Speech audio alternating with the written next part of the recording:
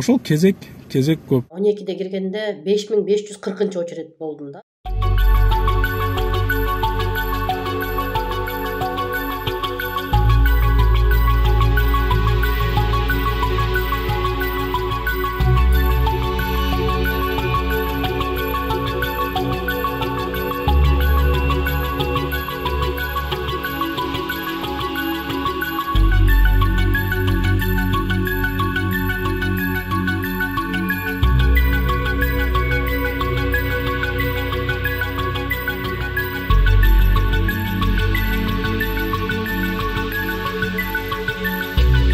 Биз бир күндө бир гана жолу келебиз төрт адамды алып келебиз жана түшкө чейин аларды кайра москвага жеткиребиз таң эртелеп мындай жерде стоянкада болжолу менен эки жүздөй машинаны күзөтүүгө болот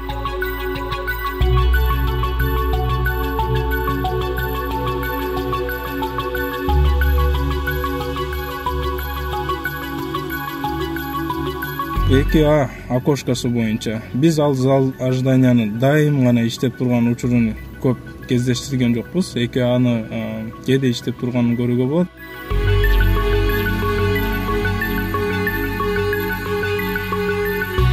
Токсон проценти токсон процент токсон адамды почти леченияга деп жиберип атат. Ал лечениясы он сегиз миң э, алты жүз рубль деп экен эми макул биз ошол он сегиз миңди төлөйлү жазган лечениясын биз ошо өзүбүзгө жакын убактыбызга карап ошол жактан биз алалы ошол уколдорун деле берсин. Мейли деп дагы биз эме койдук. Жок ага да болушкан жок. Жок ушул жака келесиңер ушул жактан отуз күн лечение аласыңар деп. Ар бир өткөн лабораториядан биз үч миңден эки миң жети жүз эки миң беш жүздөн өтүп үч эмеден лаборатория больницадан өтүп алып барган кагаздарыбызды да бизди жокко чыгарып эч кандай эме кылбай коюшту кабыл албай коюшту жок категорически жок. Ушул жактан гана ушул жактыкы туура биздики прав. Бизде гана так чыгат.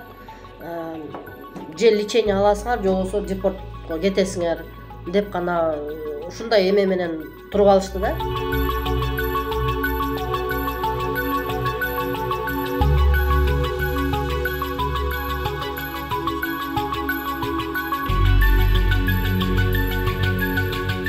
волокиты, э, беготня по всему городу, по больницам, а, сдать там анализ, тут анализ, в разные концы города посылают по все, во все можные места.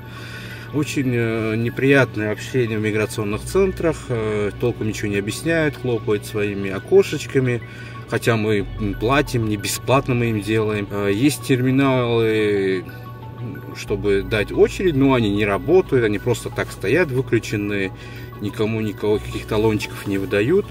Все окошечки в живой очередь, э, толкотня, ругаются, как бы.